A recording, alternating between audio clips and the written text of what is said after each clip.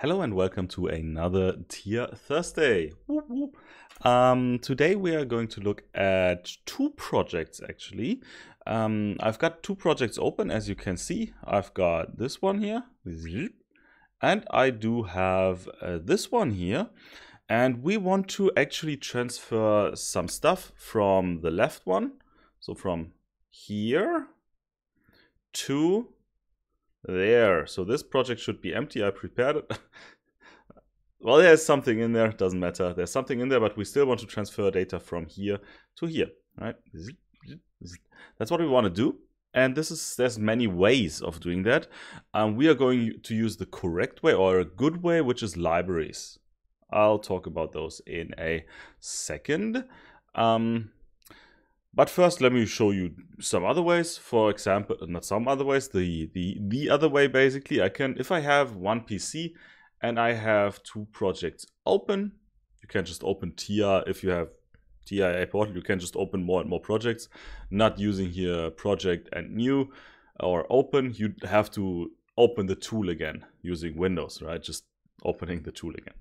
Um, if you have two open, you can just drag and drop, right? And that's possible and it will just copy and paste.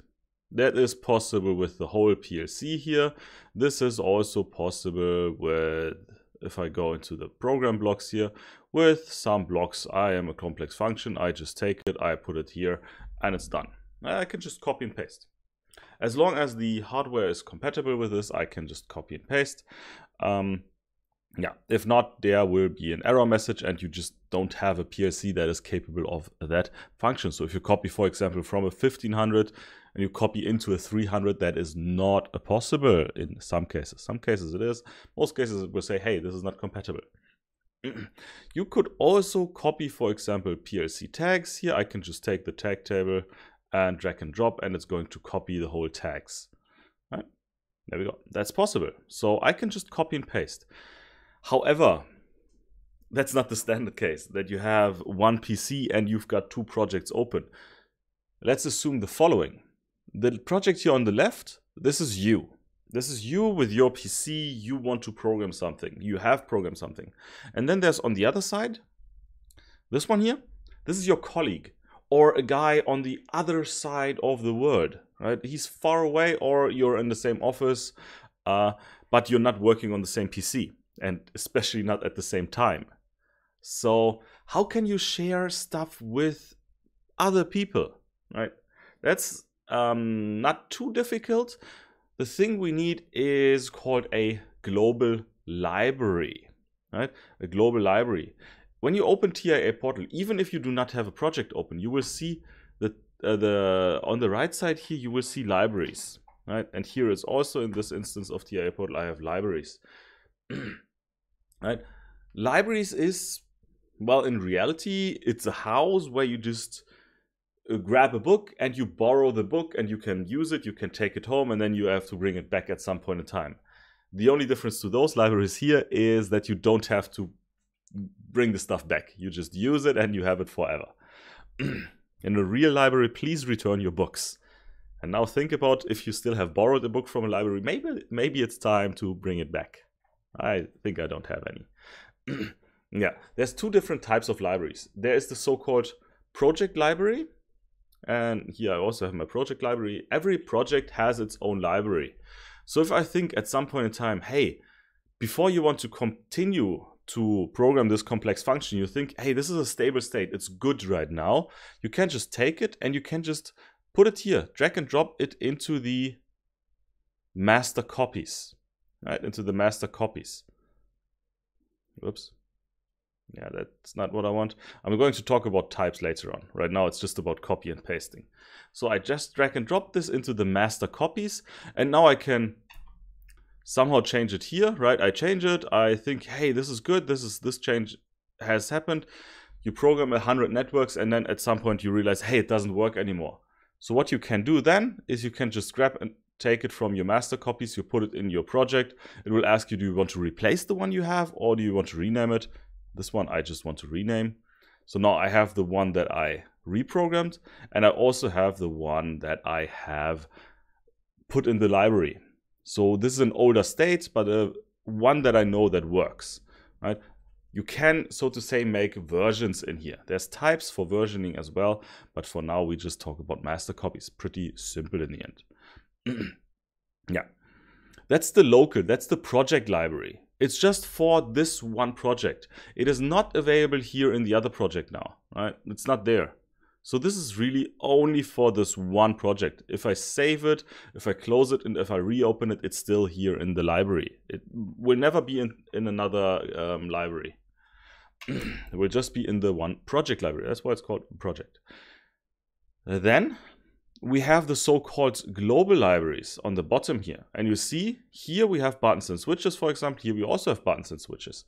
There are already some global libraries given, and I can open them. And you see in those we have some master copies that we can take. Right? We have some stuff that is already pre-programmed. Maybe um, maybe go into them, maybe, maybe just click through them because some of them are really helpful because those are standard functions that you can use that were already pre-programmed by um, by Siemens. Yeah, not going to look at those because right now we want to copy from one project to the project from a colleague that's on the other side of the world. What we can do is the following. Is the following. Here in my project, I can either right click here in the libraries and say new library, or I can say new library here on top. You see that? This little book with the yellow star is called new library. Uh, it does the same. Right click new library or clicking the button is the same. Then it asks us, what is the library name? I just say, hey, this should be called um, library from Germany.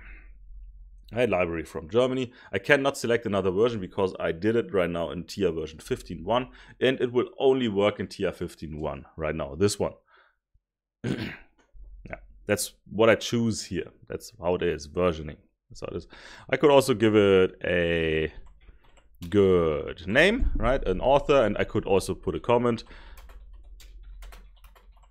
This for testing, for example. I create this library, right? I create this library and now I can open it here and you see there's types, there's master copies, common data languages. We're talking about master copies. Just copy and paste from one project to another. What I can do now is I can take stuff from here, whatever I have in my project here on the left, right? Whatever I've got here, basically, I can copy and paste. So let's see. I can just drag and drop. So what do I want in the other project? I actually want the complete PLC. I can take the PLC, I can put it in master copies. No problem at all. Right? Takes, takes a second, that's it. I can also take, hey, let's just say um, I want the, only the main function I want. I just take it, I just put it in there. Or, hey, I want this complex function here, actually. I just put it in there. I want this data block. I just put it in here. I can also this is three blocks. Like in this more stuff, it's a group. You can right click here and add a new group. It's like a folder, right? I can, nah, I know. I can take this whole folder, which is more than one function, and I just put it in here. And now I see copy of program blocks uh, in more stuff, right? So everything that's in this more stuff is in there. I can also take, for example, my PLC tags. Right? I can take my PLC tags, a tag table, not the whole. The uh, the show all tags is not possible, but default tag table. I can just tag that. I can just put it there. You see, I can take a lot of things here from the left side from my project into the library. I can save. Now, don't forget to save this library because we made changes. I can save it. And now, in my other project, right, I could now, this is actually now here on my desktop, right? I could send this folder to a colleague that's right now in, I don't know, wherever you are. I could send it to you using an email, using your email address, right? The folder. Could make it to an archive and send it. No problem. I could put it in on the internet. send it, and then it's on your PC, on the PC of my colleague here. And this colleague can now not open here on top. He can go into global libraries and there's this open global library say open global library and then I have saved it on desktop and there's this library from Germany. I open it, there should be library from Germany. And right now we will see one problem. I click on open, it says öffnen, that's German. Uh, you click on open and it says this file is being used, right? this file is being used. So right now I still have it active on my other project here because it's on the same PC. If it's on another PC, of course, it's not open anymore. I have to close this one first. And there's this button here on top, close the global library. I click it and now it's closed. Other project again, open the global library. I say library from Germany. I open it and now you see it's open here. And I have my master copies and I just I can just take Let's see. Hey, the colleague, he made a really cool complex function. I want this in my project. Just drag and drop, got that. Oh, right. He has the full PLC. I just, I just, that's, that's right. It is completely done. I just take it, drag and drop, put it in my project. Oh, hey, this tag table is so nice. I just take it, drag and drop, got it in my project. Now the colleague can actually take everything that's in the library and put it on the other project. That was a cool effect. You can see through my hand. Not anymore. How do I do that? Now. That's cool. yeah. Yes. Now this one here has it open, right? And now also on the other side, actually, if it's on the same PC. So that's just for your colleague. We're done, right? That's done. If you just want to share data for your colleague, we're done. Um, yeah. What could happen? Now your colleague says, hey, I improved the function. I made it better. I made it better. So he has this function here and he thinks, hey, I can make it way better. There's a change. There's some change. I just did random stuff, right? There's some change. And one problem is that he can't take this anymore and put it here into the library, right? It's not possible. You see, it's crossed out. Can't do it. That's stupid. Let's see if that works on the other project still. Let's open it on the other project, library from Germany, library from Germany. Let's see if I can still put anything in here. No, I cannot. You see, I cannot open any, I cannot put anything anymore in this library. Once you created the library, once you saved it, and once you've closed it, you can change it. Not exactly. Uh, let's close it here again. Let's close it here again. Or actually, let's keep it here open. Right? on this, on the left side, oops, that's not what I wanted to pull. That's who I want to pull. On the left side here, you can see it's just grayed out. It's grayed out. Like if I close it again, and if I reopen it, you see it's just grayed out, right? So I can't change anything if it's just gray. But it's open. On the same PC, here, right there, I can also open the library now because it is in a read-only mode. Right? I can also open it. It's fine in two projects, but that's not what I want. I actually want to change it here. So I can click on open. I can select the library. And if I want to change it, there is on the bottom right now, of my PC is set to German. That's why it is uh, saying it in German, schreibgeschützt öffnen. Huh? There's, there's, a, there's a tag here that's on. Um, this tag says it's read only, right? It's read only or copy prote something protection in English then, read only it should say. I can deactivate this. I click on open. Cannot be modified. Uh, wait. because it is still open on the other project, that's why I cannot modify it. Let's close it here. Let's reopen it here. Let's say yes, this, yes, this. Copy, uh, re, uh, yeah, protection off, whatever that is. I open it and now you see again here, it is not grayed out anymore. Here it is now um, just normal. There you can see this little pencil actually, it's very, very hard to see. And those are not grayed out anymore. So the colleague can now make changes on this and then put that in there, right? He can say, let's save it, let's close it again, and you send this back he sends it back to you because he made some improvements, or it is on the server actually.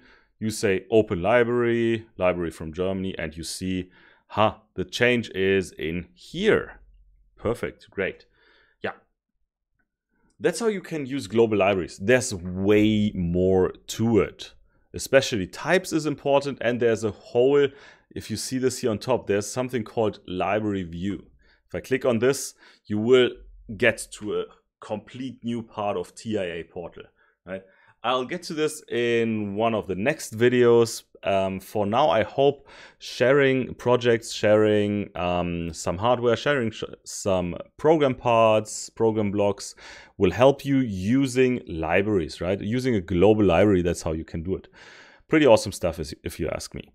Um, there should also be somewhere on the internet, there's probably libraries you can download with pre-configured stuff. You should be able to find it somehow somewhere uh, if you Google it. Sometimes there's stuff. yeah. If this was any helpful, um, then don't forget to leave a like. Don't forget to subscribe for more content, especially on TIA Tuesday and TIA Thursday. Woo woo. Um, yeah, if you've got any questions, leave them in the comments below. I'll try to answer them. There's quite a lot of them, so sorry if I can't. Uh, I still read most of them, but if I have the time, I also answer. Um, thanks for watching, and I'll see you around. Uh, bye.